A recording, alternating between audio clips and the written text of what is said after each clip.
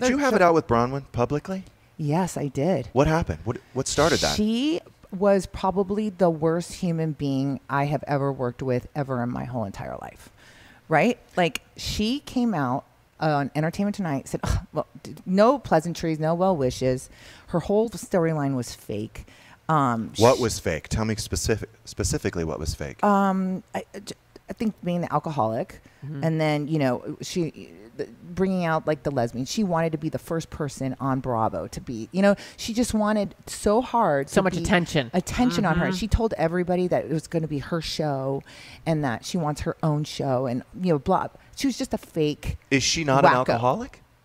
Uh, You know what? I don't believe anything she has to say. Okay. Mm, There you go. She is a liar. She just has no credibility with you. She is just Allegedly. a liar. And, Allegedly. and Allegedly. She came on Entertainment Tonight and said that I was a racist, just like Heather Dubrow called me a racist too. Like, and look, I'm married to a Jew. Look, Everybody loves to get on that everyone, train everyone, with you, every- yeah. everyone loves to say the racist thing. Like, it's like it's well, they say that's how liberals win arguments. Yes. By calling someone a racist. Right. Because how do you say you're not? How do you prove you're not a racist? Right. How You're a you prove it? racist, Jeff. Jeff You're a calls me a racist. racist all the time. Yeah. you're a Well, racist. Against Koreans. You're a racist. okay.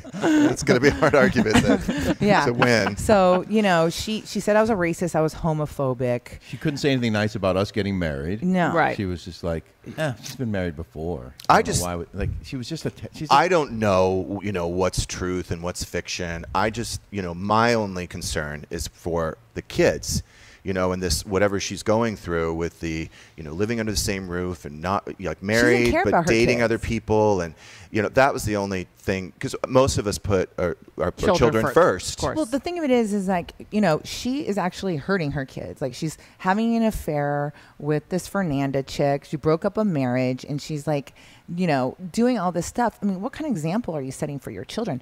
Me, I get freaking ostracized and fired because what I say God's way of thinning the herd, which I didn't even write anyway. By the way, that I mean, every article that you read about me, they always put that in there. Mm-hmm. God's way of thinning the herd. I didn't write that. I'm not smart enough. Darwin did. Okay.